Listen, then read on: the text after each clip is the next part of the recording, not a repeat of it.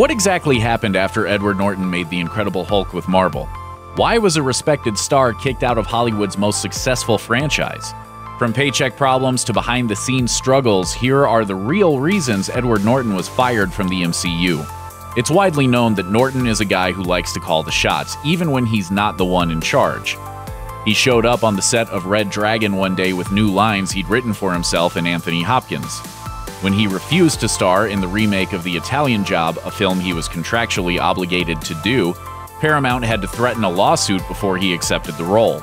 And perhaps most infamously, he used his A-list clout to re-edit American History X, a move that infuriated director Tony Kaye. Of course, Marvel Studios has had its fair share of control freak moments too. When execs didn't like Edgar Wright's vision for Ant-Man or Patty Jenkins' take on Thor the Dark World, the studio cut ties with those directors. Marvel also gave Joss Whedon a hard time during Avengers Age of Ultron, with Whedon having to fight tooth and nail to keep certain scenes in the movie. In other words, Edward Norton is an immovable object and Marvel Studios is an unstoppable force. When the two crashed together, things got really messy really fast. Once shooting was finished on The Incredible Hulk, a civil war broke out between Marvel and Norton. After watching the film, studio executives decided that they wanted more action and more excitement in a shorter runtime. This didn't sit well with Norton, who had previously been allowed to make his own considerable rewrites to the script. Norton was especially upset because he thought he was going to have more say in the creative process. According to Deadline, the actor had been promised tremendous involvement and access to the final product, but Marvel wasn't too keen on Norton's contributions and they chopped out many of the scenes he'd written. Flashback sequences that gave Banner more depth were tossed by the wayside, and an opening scene in which Norton's character tries to end his own life was left on the cutting room floor. While Norton was hoping for a more introspective film that ran around 140 minutes, The Incredible Hulk became a run of the mill action flick that was just 112 minutes long. Norton was upset and frustrated and subsequently took a back seat when it came to promoting the movie.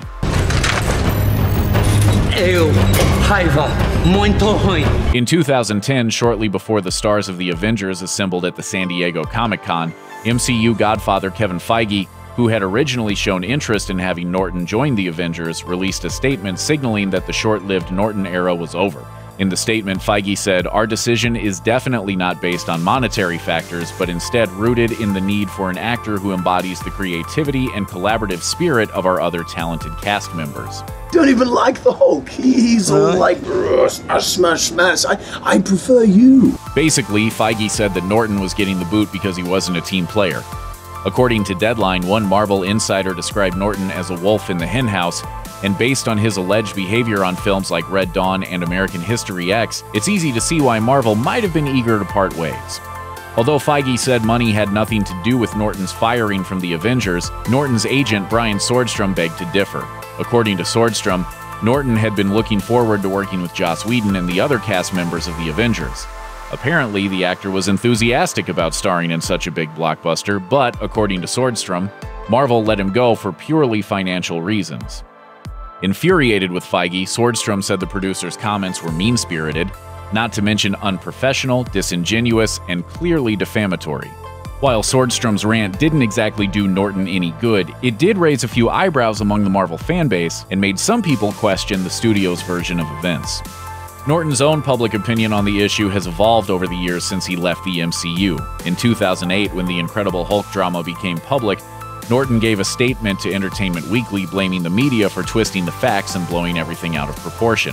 But in June 2010, after telling his Facebook followers that he wouldn't be starring in The Avengers, Norton wrote, I sincerely hoped it could happen and be great for everyone, but it hasn't turned out as we all hoped. In a 2011 interview with The Independent, Norton then said that Marvel's decision to let him go had nothing to do with him playing nice with others. He instead claimed that it was a flat out business decision motivated entirely by money.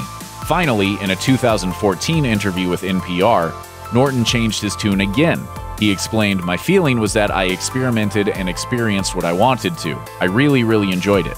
But Norton also said he was glad to have parted ways with the MCU, as being part of the Marvel machine would have required years of commitment and might have caused him to miss out on roles in Birdman and Moonrise Kingdom.